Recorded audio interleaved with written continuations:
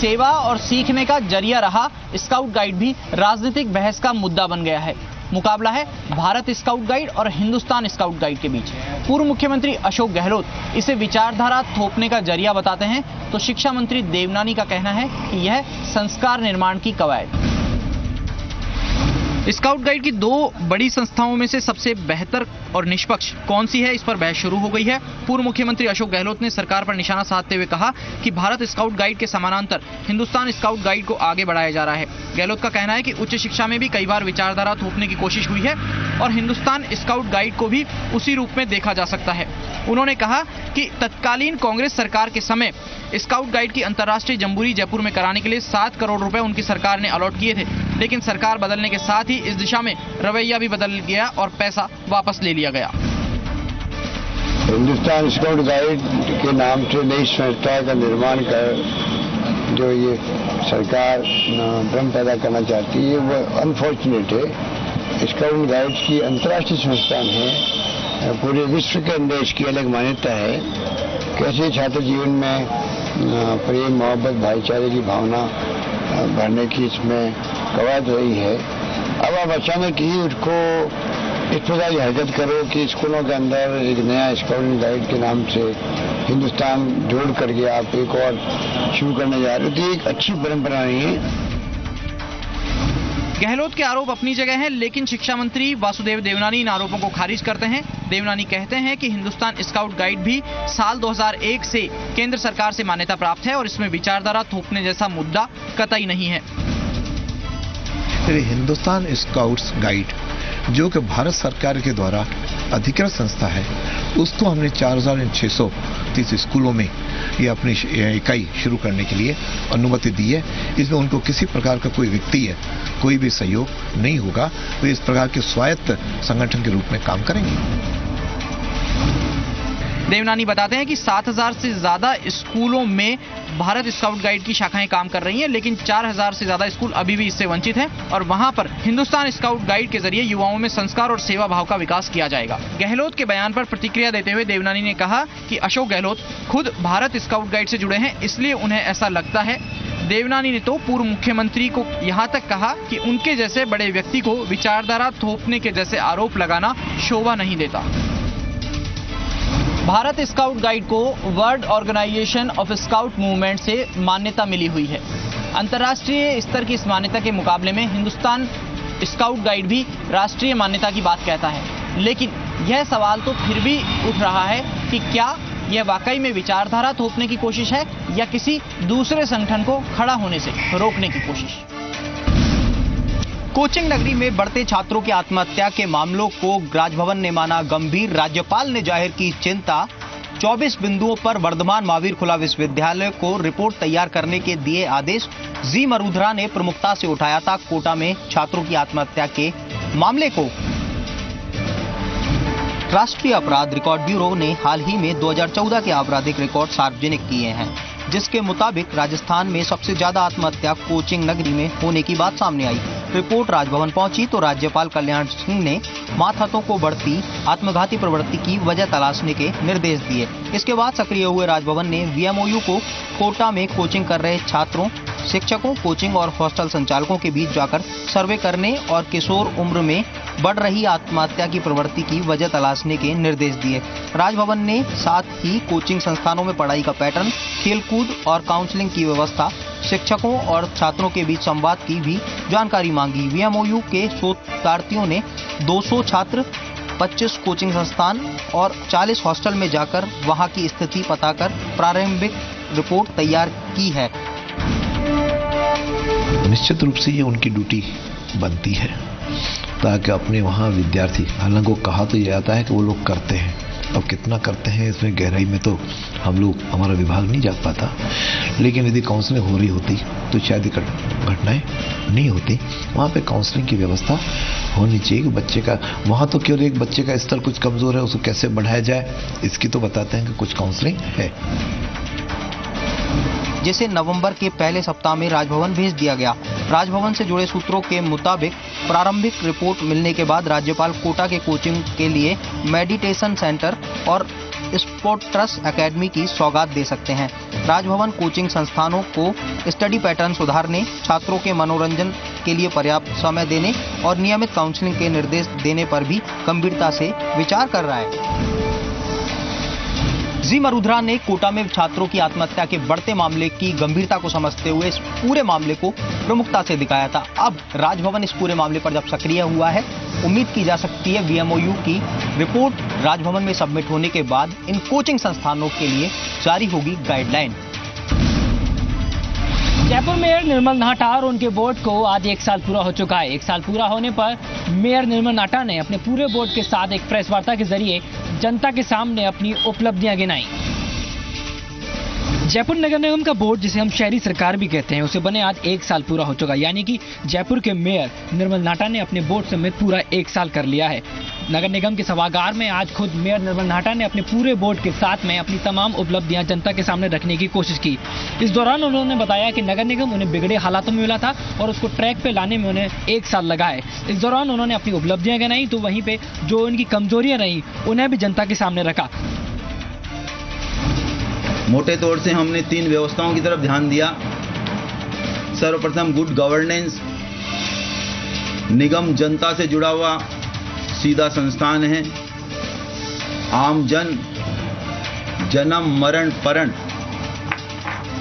तीन ज़िंदगी के जो मुख्य हिस्से हैं, कहीं ना कहीं सीधे तौर से निगम से जुड़े हुए हैं। वहीं डोर टू डोर कलेक्शन का जो जिम्मा नगर निगम के हाथ लगा है, उसके लिए 102 दिन में टेंडर जारी हो जाएगा। इस बात की जानकारी दी, वहीं 1 से 15 दिसंबर तक जयपुर शहर में एक बड़ा मेगा सफ़ाई अभियान चलाया जाएगा। कचरा निस्तारण में जयपुर नगर निगम पीछे रहा, इस बात को भी स्वीकार करने में मेयर निर्मल नाटा पीछे नहीं रहे। बोर्ड मीटिंग से लेकर सफ़ाई के मुद्दे पर मेयर नाटा को आज मीडिया ने घेरने की कोशिश की, लेकिन हर बार उनका एक ही बयान सामने निकल के आया कि स्थितियों को सुधारने की कोशिश की जा रही है। जयपुर मेट्रो को राष्ट्रीय स्तर पर मिली पहचान। मेट्रो ने पाँच महीने में ही रचा नया कीर्तिमान। शहरी एवं विकास मंत्रालय ने नवाजा best urban mass transit project पुरस्कार से। केंद्रीय शहरी विकास मंत्रालय की अवार्ड सिलेक्शन कमेटी की अनुशंसा पर केंद्रीय शहरी विकास मंत्री ने जयपुर मेट्रो रेल परियोजना को फ़ेज़ वन को best urban mass transit project पुरस्कार की कैटेगरी के अंतर्गत विशेष पुरस्कार से नवाजा है। शहरी विकास मंत्रालय भारत सरकार के तत्वाधान में प्रतिवर्ष अर्बन मोबिलिटी इंडिया प्रदर्शनी का आयोजन किया जाता है। चार दिवसीय इस कार्यक्रम का शुभारंभ 24 नवंबर 2015 को केंद्रीय शहरी विकास मंत्री वेंकैया नायडू के द्वारा किया गया था।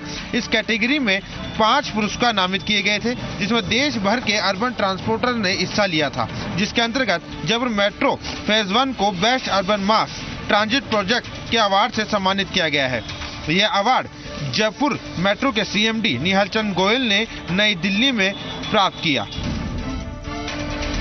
हमें बहुत खुशी है। आज शहरी विकास मंत्रालय की तरफ़ से आयोजित इस समारोह में जयपुर मेट्रो को स्पेशल अवार्ड मिला।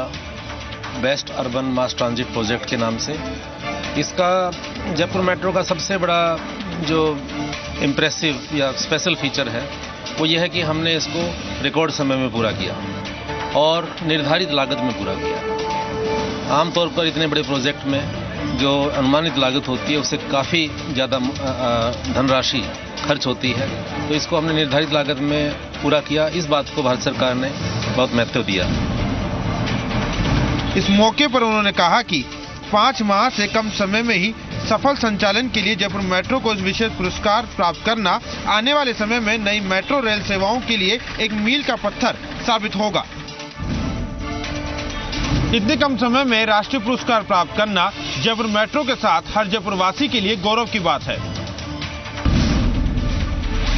बच्चों को पढ़ाई में मदद करने वाले 50 से भी ज़्यादा मोबाइल ऐप अपने स्तर पर तैयार करने वाले अलवर के मोहम्मद इमरान के सम्मान का सिलसिला लगातार जारी है। आज राजधानी जयपुर में पुरस्कृत शिक्षा फोरम और शिक्षा विभाग की तरफ़ से अलवर के इमरान का सम्मान किया गया। शिक्षा मंत्री वासुदेव देवनानी और पुरस्कृत शिक्षक फोरम के महासचिव रामेश्वर शर्मा ने इमरान को सम्मानित किया। टैगोर एनआरआई स्कूल में हुए कार्यक्रम में जयपुर कलेक्टर कृष्ण कुणाल के साथ ही टैगोर ग्रुप के निदेशक पीडी सिंह भी मौजूद रहे। इस मौके पर शिक्षा मंत्री ने इमरान को सराहा तो साथ ही यह भी कहा कि वे इन ऐप की उपयोगिता शिक्षा में और बढ़ाएँगे। मैं समझता हूँ कि कहीं ना कहीं अंतर्राष्ट्रीय स्तर पर और राष्ट्रीय में कुछ इस प्रकार के तत्व जो भारत को अस्थिर करना चाहते हैं, उन्होंने भारत के सम्मान को भी घटाया है और भारत के गौरव को भी घटाया है। इसलिए इस प्रकार के व्यक्तियों को अपनी भाषा का उपयोग करते समय दस बार सोचना चाहिए, जीने के लिए भारत से ज़्यादा कोई अनुकूल, दूसरा देश, सभी समुदायों के लिए दूसरा कोई भी देश नहीं है। सम्मान से अभिभूत इमरान ने भी कहा कि उनके बनाए ऐप बच्चों को आगे बढ़ने में मदद दें तो उनके लिए यह बड़ी खुशी होगी। इमरान ने बताया कि फ़िलहाल वे ओपन सोर्स प्लेटफॉर्म पर काम कर रहे हैं और ऐसी कोशिश है कि बच्चों की पढ़ाई के लिए मटेरियल एक ही जगह मिल जाए। साथ ही तकनीकी शिक्षा विभाग की तरफ़ से कंप्यूटर प्रोग्राम की पोस्ट के लिए मिले ऑफ़र पर इमरान ने कहा कि अगर ऐप वाला काम किसी भी तरीके से आगे बढ़ सके तो वे इस पर ज़्यादा तरजीह देंगे। हमारे देश में पॉजिटिव बातें बहुत हैं उनको तो दबा दिया जाता है। तो छोटी छोटी बातों को हम मुद्दा बना लेते हैं और उन पर बहस करते रहते हैं। ये देश की एनर्जी का वेस्टेज से ज़्यादा कुछ नहीं है। हमें सकारात्मक बातों को फैलाना चाहिए उन पर काम करना चाहिए। ऐसी सहिष्णुता नहीं है देश का मतलब? नहीं मुझे तो कुछ महसूस नहीं होता। तो फिर देश छोड़ने की बातें कुछ लोग करते हैं। तो क्या आमिर खान को इमरान खान से अपना अपना अपना नज़रिया है सर। अपना अपना नज़रिया है। कोई किस तरह सोचता है हर व्यक्ति स्वतंत्र है अपने तरीके सोचता है। पढ़ाई में मददगार साबित होने वाले मोबाइल ऐप बनाने वाले मोहम्मद इमरान खुद मानते हैं कि प्रदेश में कई होनहार लोग हैं और उनको बढ़ावा देने की ज़रूरत है। साथ ही वो ये भी कहते हैं कि देश और प्रदेश में कई सकारात्मक बातें हैं, लेकिन उनको कई बार दबा दिया जाता है और छोटी छोटी बातों को मुद्दा बनाया जाता है। असहिष्णुता के मुद्दे पर भी इमरान ने कहा कि उन्हें देश में कहीं भी असहिष्णुता दिखाई नहीं देती। देश भर में आमिर खान के असहिष्णुता के बयान पर जगह जगह बवाल मचा हुआ है। राजधानी जयपुर में भी आज कुछ ऐसा ही प्रदर्शन देखने को मिला। जयपुर में आज एबीवीपी के कार्यकर्ताओं ने आमिर खान का पुतला जलाया। बॉलीवुड एक्टर आमिर खान के असहिष्णुता के बयान पर देश भर में बवाल मचा हुआ है। देश भर में जगह जगह आमिर खान के खिलाफ गुस्सा व्यक्त कर रहे हैं। आज राजधानी जयपुर में छात्र छात्राओं ने आमिर खान को देश छोड़ने की नसीहत दे डाली। यूनिवर्सिटी के मुख्य द्वार पर एबीपी की ओर से किए गए इस प्रदर्शन में आमिर खान का पुतला जलाया।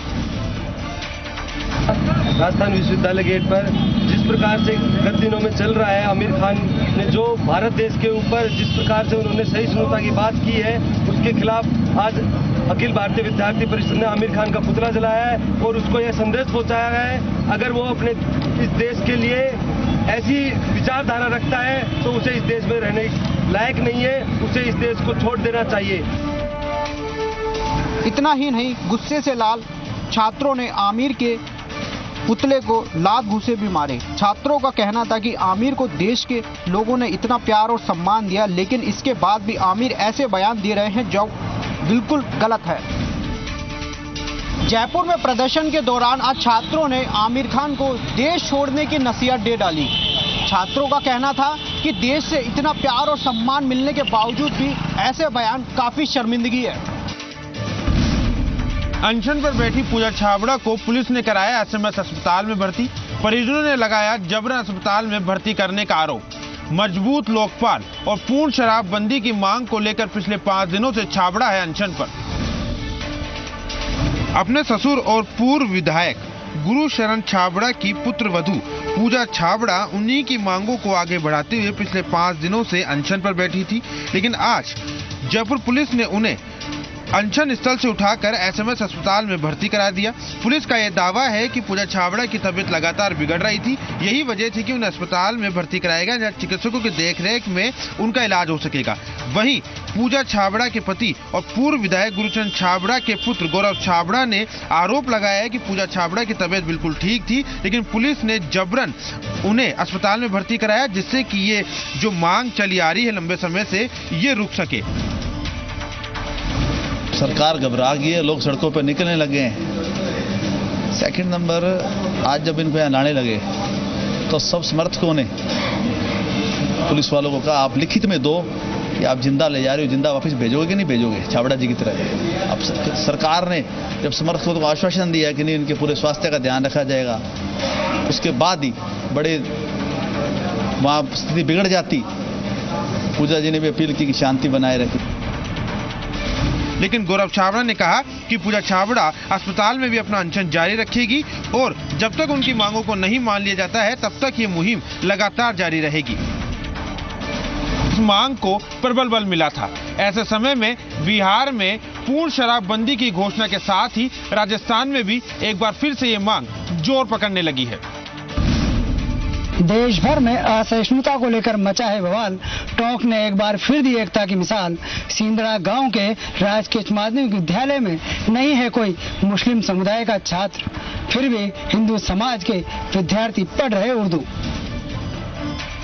देश भर में जहाँ नेता से लेकर अभिनेता असहिष्णुता को लेकर बयानबाजी कर रहे हैं, जिससे संसद से लेकर सड़क तक बवाल मचा हुआ है।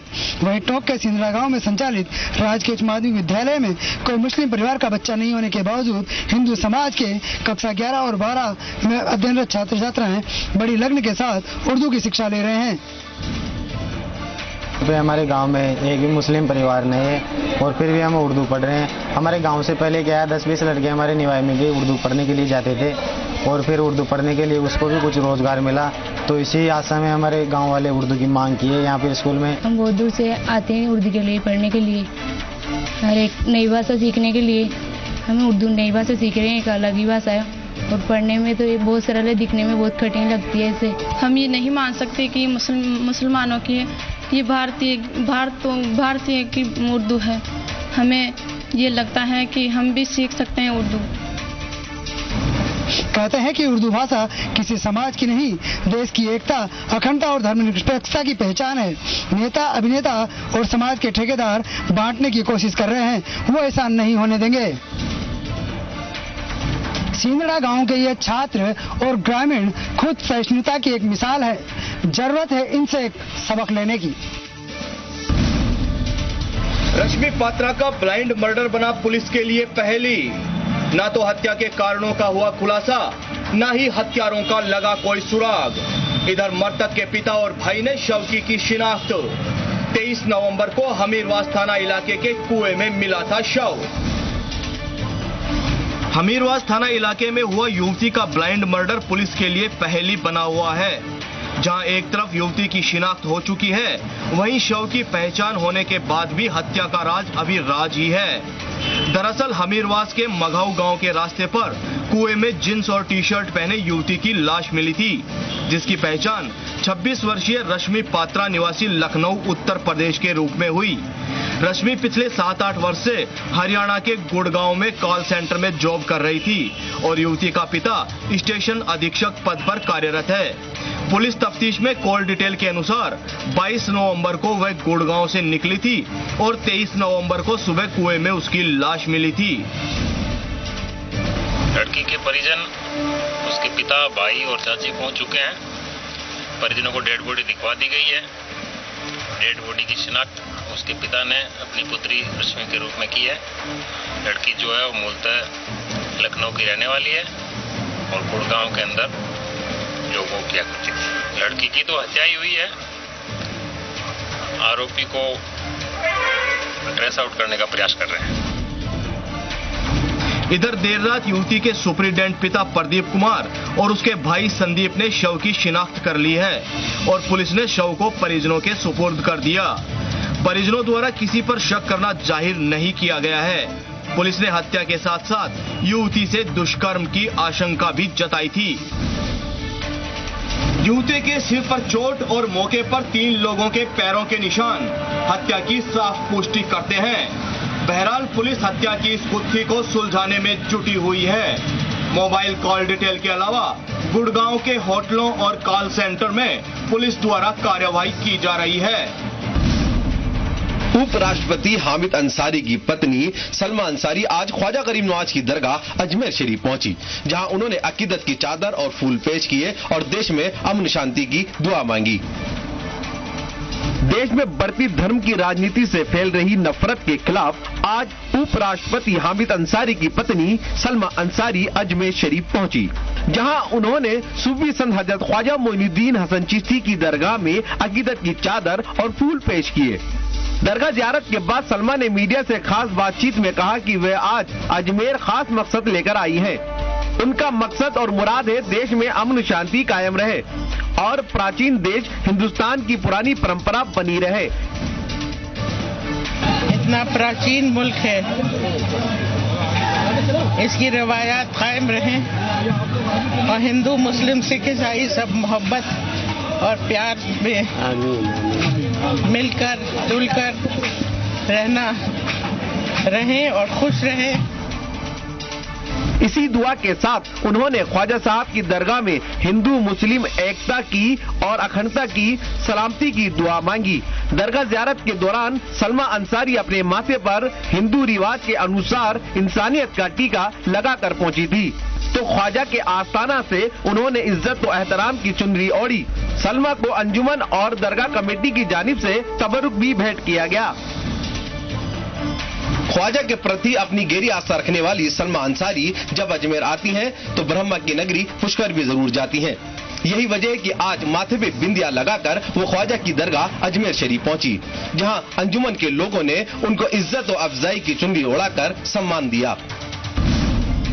इलाज करवाने आई नाबालिग के साथ यौन शोषण के मामले में नाबालिग के दर्ज किए गए बयान, कुड़ी थाना पुलिस ने शुरू की मामले की जाँच। पुलिस के अनुसार 17 वर्षीय छात्रा ने रिपोर्ट में बताया कि वह बारहवीं कक्षा की छात्रा है और करीब चार माह पहले अपनी बीमार होने पर एक गाँव में क्लिनिक चलाने वाले राकेश गोदारा के पास इलाज करवाने के लिए गई थी। इस दौरान डॉक्टर ने इंजेक्शन लगाते समय उसके साथ छेड़छाड़ की। इसके बाद डॉक्टर ने स्कूल जाते समय एक सिम दी और मोबाइल पर बात करने के लिए कहा। कुछ समय बाद उसके परिजनों ने सिम तोड़कर फेंक दी। इसमें डॉक्टर ने अपने साथी के साथ एक अन्य सिम भिजवा बात शुरू की। इसके बाद उसे झांसा देकर अपने क्लिनिक बुलाया और उसके साथ दुष्कर्म किया। अगले दिन सुबह चार बजे वह अपने घर पहुँची तो डॉक्टर के साथ उसके परिजनों ने मारपीट की। गुड़ा में निवासी एक पीड़िता ने प्रकरण दर्ज कराया हुआ है, जिसको धारा तीन सौ छिहत्तर और पॉक्सो एक्ट के तहत प्रावधानों के तहत मुकदमा दर्ज किया गया है, जिसमें श्रीमती किरण गोदारा द्वारा अनुसंधान किया जा रहा है।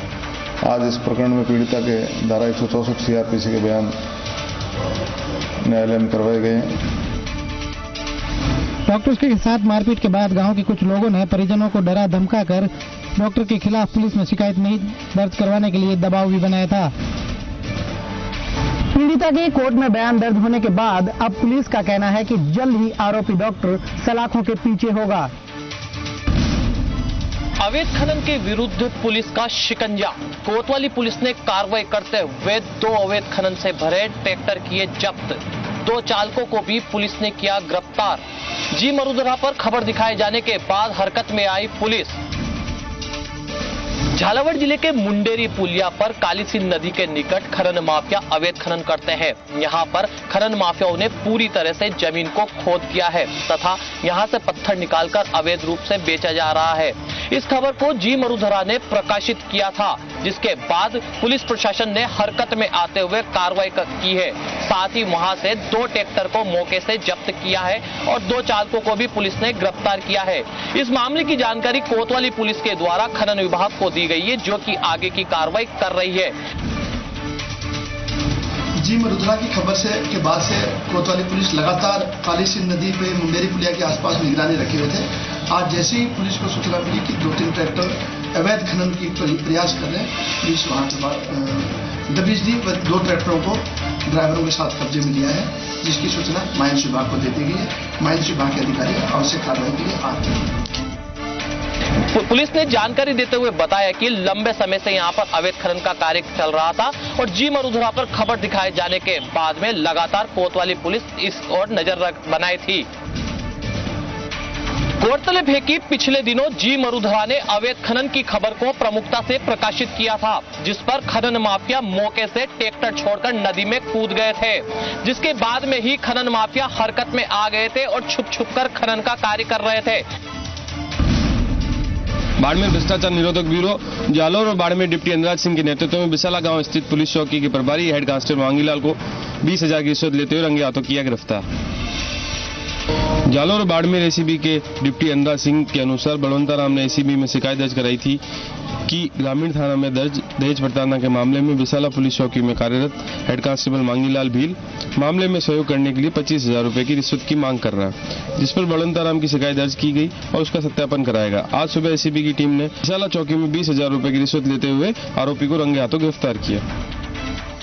बंताराम भील है, जिसने अपने बाड़मेर चौकी में एक रिपोर्ट दर्ज करवाई थी कि मेरी पत्नी और सास ससुर ने मिलकर मेरे साथ धोखा करके एक लाख रुपए लेकर के मेरे साथ शादी की तब एक लाख रुपए लिए। और अब मेरे जीवन काल में जीते जी उन्होंने दूसरी जगह पे उसकी शादी कर दी, नाता कर लिया। और मेरे खिलाफ में दहेज प्रताड़ना का झूठा मुकदमा और दर्ज करवाया। गौरतलब है कि एसीबी द्वारा की गई कार्रवाई के बाद पुलिस विभाग में हड़कम मचा हुआ है। पर एबीपी कार्यकर्ताओं में हुआ झगड़ा।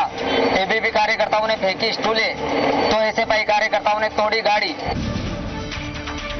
शिखर के एस के कॉलेज में एबीपी और एसएफआई के लिए जंग का अखाड़ा बन चुका है। आज फिर से एसएफआई और एबीपी के कार्यकर्ताओं के बीच झगड़ा हो गया। दरअसल एसएफआई के कार्यकर्ता आज फ़ीस वृद्धि के विरोध में प्राचार्य को ज्ञापन देने पहुँचे थे। एसएफआई कार्यकर्ताओं ने प्राचार्य कक्ष के बाहर नारेबाजी की। इसी दौरान एबीपी के नेता कानाराम अपने समर्थकों के साथ पहुँचे और दोनों पक्षों के बीच में झड़प हो की मांगों का हमें बताने रोज विभिन्न मांगों को लेकर कॉलेज में नारेबाजी करती है। कॉलेज से माहौल खराब होती है। क्लासों से लड़कों को बाहर निकाल के उनको नारे बनाने के लिए मोटिवेट करती है और सभी क्लास बंद करवा के रोज रोज नारेबाजी करा के कॉलेज के माहौल खराब करती है। इसलिए हमने उनका ज्ञापन का विरोध किया है। रोज देने वाले ज्ञापनों के लिए विरोध किया अगर ज्ञापन देना है तो एक जन आके ज्ञापन दे सकता है। इसलिए ने विरोध किया